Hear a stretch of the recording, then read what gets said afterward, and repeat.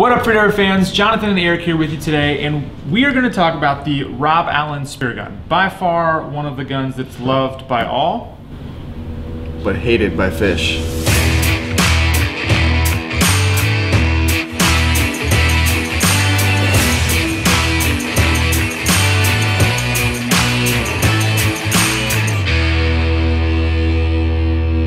The Rob Allen spear gun has been around for a long time, and honestly, it's been updated over the years, right? They've been changing muzzles, changing uh, mechanisms handles. and handles, um, but it's funny. Even the barrel at one point. Really? Oh, yeah. That's true, that's true, back in the day. So they've updated some things throughout the years, but it's always been a staple product for the local spear fishermen and guys, really around the world, not even local.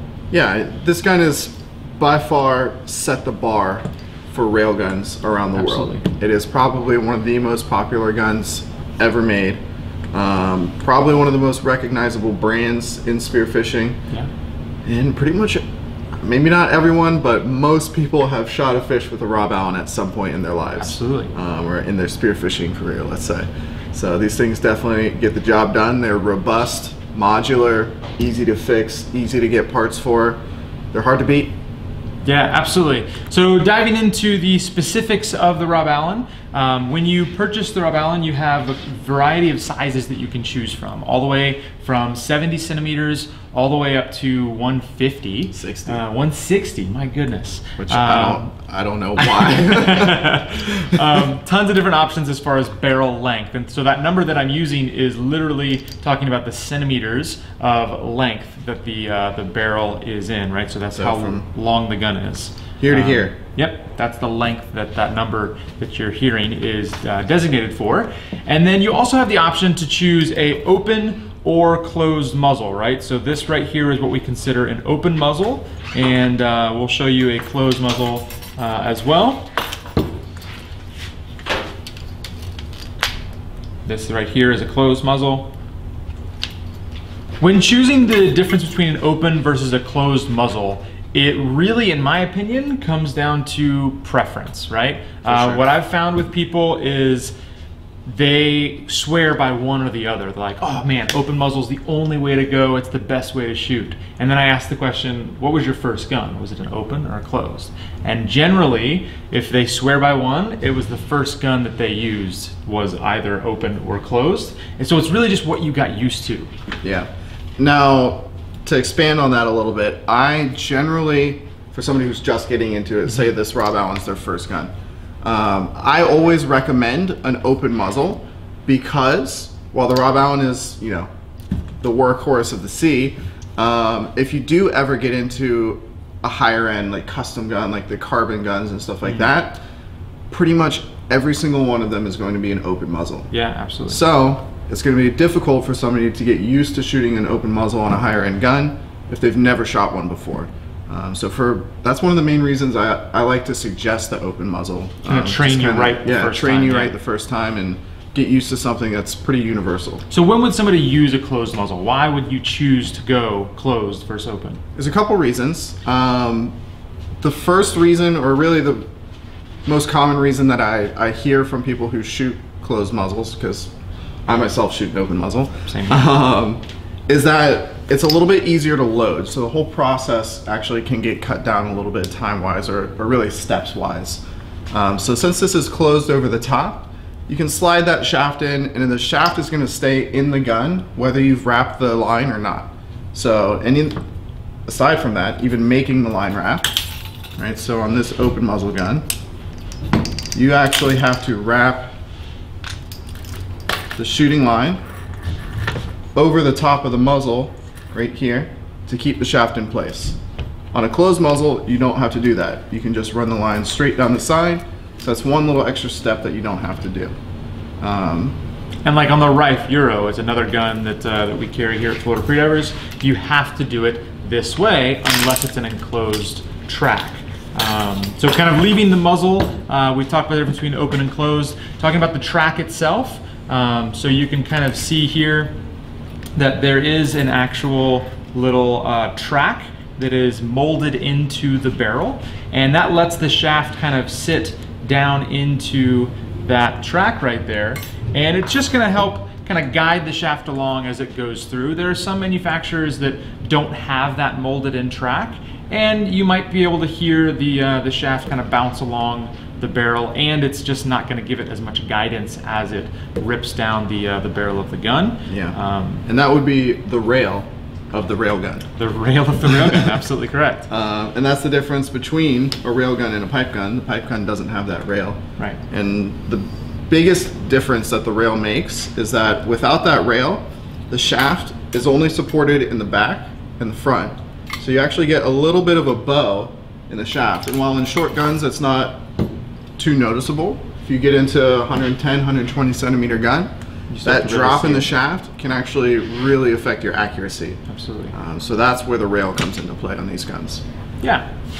So moving, continuing to move our way back, um, the shaft that is offered with the uh, the Rob Allen standard, uh, all the sizes is a two notches on the shaft. So as opposed to shark fins where you would hook your bands on, these are, are notches. Uh, and opposed to some of the other brands that are out there, Rob Allen actually um, kind of bevels this edge of this notch right here. So when you're using your uh, Dyneema wishbones, it's not going to get cut up nearly as quickly on a Rob Allen shaft as it would some of the other brands that are out there that don't bevel that edge. So very, very important to have longevity in your bands and the uh, the wishbone of your band specifically.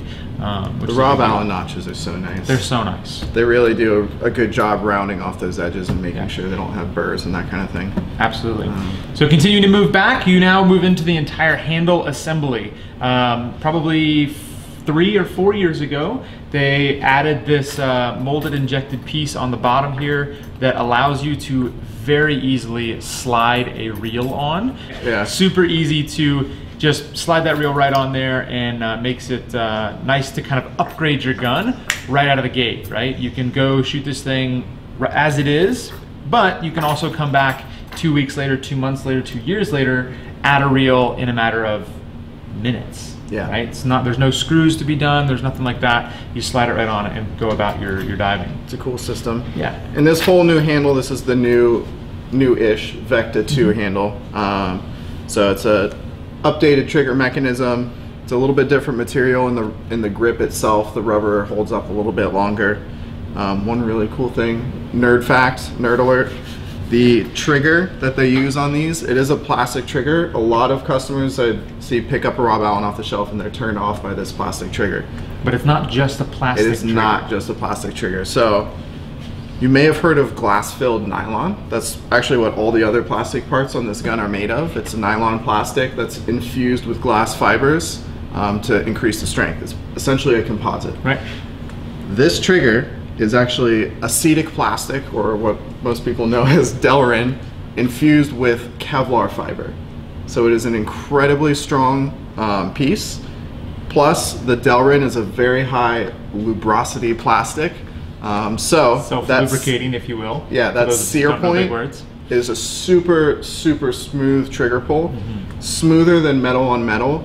This trigger is actually one of the smoothest triggers out there, Yeah. in my opinion, because Absolutely. of that Because of the different materials, right? two different materials. Absolutely. And so it's funny because when you look, it's just like, oh, it's just a plastic trigger. But in reality, there's a lot of thought, engineering, and money and time that Rob Allen spent to make this trigger one of the best out there on the market, which is why we like Rob Allen so much. They really pay attention to their products and, you know, go the extra mile. That's a cool little part there.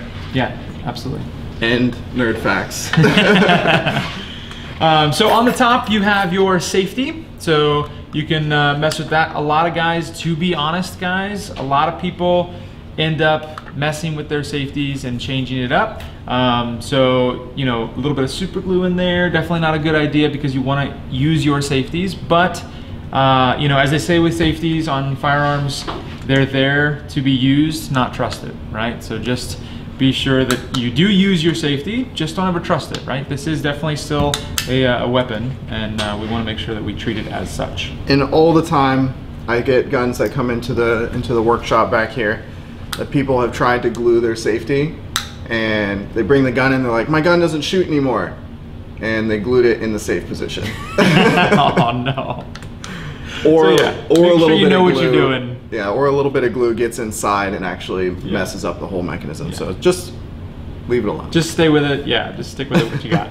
Um, so talking about the mechanism itself, um, you can actually change out this mechanism, and you can drop in one that has a buttstock on it. So a lot of guys out there are like, ah man, like I really want the butt when I load my uh, my spear gun. I really don't like this kind of shaved off edge. Well, Rob Allen heard you, and they uh, engineered and made this new cassette. So you can literally pop that pin and drop that straight in and now you have a buttstock on the back end of the Rob Allen spear gun, which is pretty cool. For sure. Personally, I like loading it without it. What do you think? Um, I've gone both ways, and I probably will go with you on the, the no butt. Yeah, There's something about the way that Rob Allen, the shape, the contour like, against fits- your chest. Yeah, fits into your chest really well. Um, you actually kind of spread out all that force along a bigger surface area rather than just one small spot. you know two square inches. Yeah. Um, however, these I've loaded these before. It's not bad. It definitely No. adds a different. Um, And some people just gives it a prefer little more stability. Yeah, some people say. just prefer that.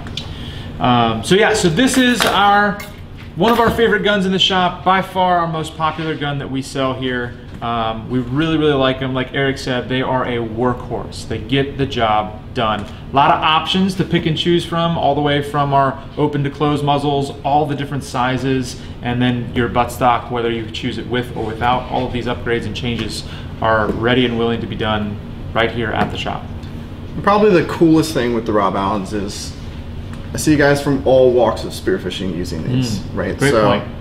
there's dudes out there using Rob Allens as their first spear gun. They've never spearfished before, and this is what they go with. Mm-hmm. And there's guys that have been doing it their entire life, and there's commercial guys that only Yeah. run Rob Allens. Yeah, absolutely. Um, so pretty cool that it's you know the guns really translate across the board there. They can grow with you as They you grow with you. Yeah. They're super modular. You can change the length, get new barrels, that kind of thing, and they're just great guns, man. Absolutely. We love the Rob Allens.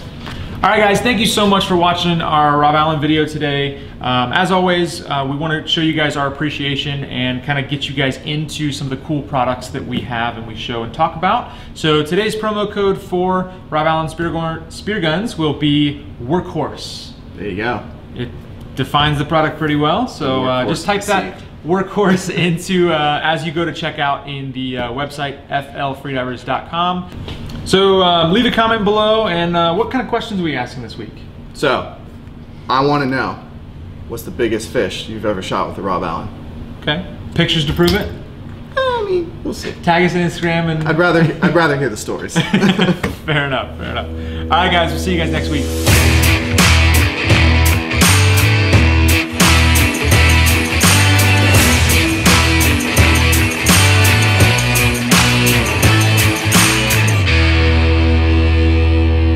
Thanks for watching our videos, guys. Make sure to leave a comment on our channel and let us know what you want to see next. In the meantime, you can check out any of our other awesome videos. We've got a few around here. It's probably a couple somewhere in this region. Um, give those a check, and you can find out some more awesome information about spearfishing and freediving.